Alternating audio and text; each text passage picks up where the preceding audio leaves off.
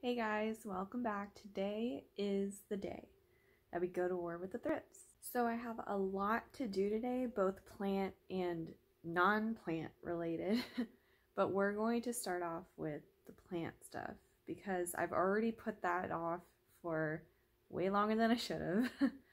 so that's where we're going to start today. But first, I'm going to make some coffee because I'm going to need something to keep me going through all the plant treatments. And I kind of want to put you guys on something because this particular way of making my coffee, for the first time, it actually made me feel motivated to do something. And I originally made it like pretty late at night, so that wasn't the best time for it to kick in, but it did. So I'm going to make it, and hopefully it gives me the same kind of motivation and energy that it did before. but I'll show you guys how I make it in case you want to try it yourself. I highly recommend.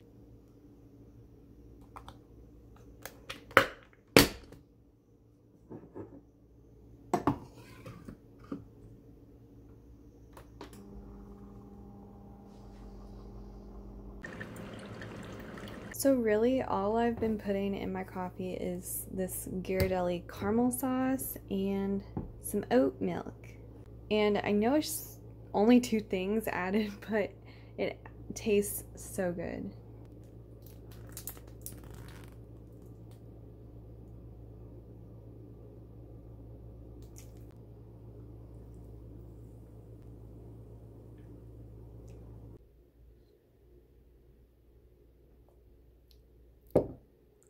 It's good. okay, so here's the plan of attack. First, we're going to tackle the plants in my bedroom because that's where I first noticed the thrips. And we're just going to go shelf by shelf and any plants that I can visibly see the thrips are going to go into the tub. We're going to spray them down with the Captain Jack's Dead Bug Brew. Um, and then we're going to toss the top layer of soil and incorporate some of that systemic bonide stuff into the top layer of soil. And once that dries, we're going to repeat the process with the other plants, but just in smaller groupings. On the plants that I can't visibly see signs of thrip damage or the thrips themselves, I'm going to use a different method of treatment. I also bought yesterday some Castile soap, which is a much gentler soap so it doesn't hurt the plants. Um, I'm going to be using that mixed with some neem oil and water, and I'm going to spray the plants that look okay with that treatment. And I'm also going to incorporate some of that systemic bonide stuff into the top layer of soil of those plants as well. So it kind of curbs like the whole thrip problem for those specific plants before it actually becomes the problem. So that's the plan. I don't have the soil and soil um, additives that I need to repot a lot of my plants that need it, that definitely need it. So I'm going to wait until the soil I ordered comes in and then that'll be a separate video of repotting those plants and adding the bonide systemics into that new soil so that they're fine and dandy. Okay. So yeah, that's the plan. Let's see how far I get today. Hopefully I can get all of my plants through at least one round of treatment today. That is the goal. So yeah, let's just get into it. All right, so we have the first round in the tub. We have my two ficus, my syngonium, my peperomia, and my massive spider plant. So I'm going to go ahead and chop off her babies and shorten the runners just to make treating this plant a whole lot easier and I'm going to treat the babies separately the babies I have confirmed do have thrips. So I'm going to try the Castile soap, neem oil, water solution with them. I'm going to mix that solution in a bowl and just kind of soak the babies in it. Hopefully that gets rid of all the thrips on the babies. If not, I might have to resort to Captain Jack's, but the whole thing is I don't want to spray Captain Jack's directly on them since they don't really have roots or anything and I'm afraid that it'll just flat out kill them. So I want to go with the more gentler solution on the babies first and if that doesn't work then I'll have to resort to Captain Jack's and I will do that. Don't mind the cactus in the corner, he's not a part of this. He has a whole separate problem. This little guy has an ant problem but I can't really take care of it until I repot him, and I can't repot him until I get the soil. So he's just gonna chill in that corner, and I'm gonna keep the ants at bay with the neem oil I've been spraying him with. Anywho, my phone's gonna die, so I'm going to take care of the baby situation and then come back and spray these little plants down. Okay, see you in a bit. So here are the babies. I put them in an old propagation vase because never put any kind of plant treatment mixture in any kind of bowl that you might uh, consume food or anything out of in the future because that's very unsafe.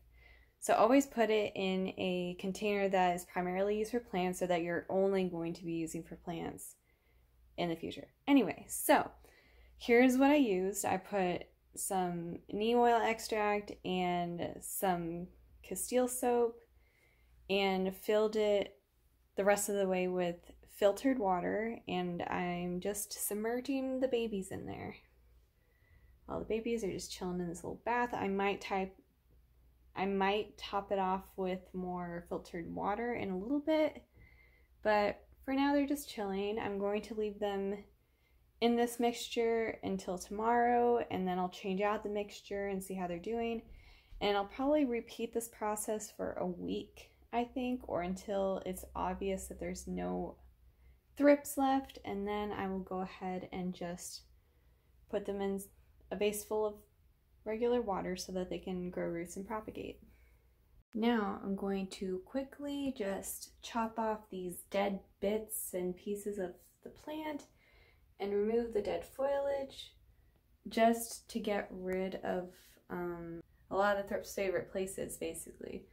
So I'm going to go ahead and do that first and except for this leaf I'm not going to chop it off just yet because that is the newest leaf. I'm going to just treat it and yeah alright.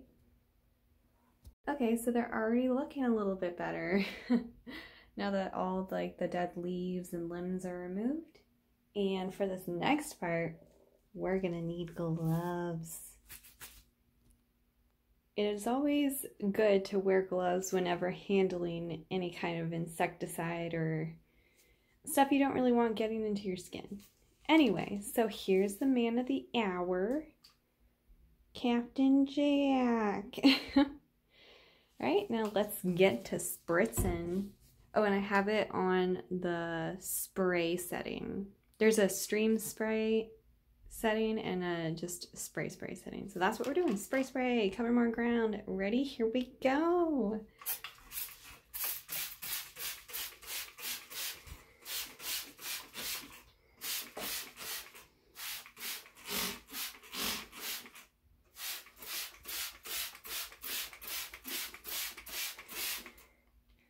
Yay. so yeah, it's getting dark now and my coffee's cold.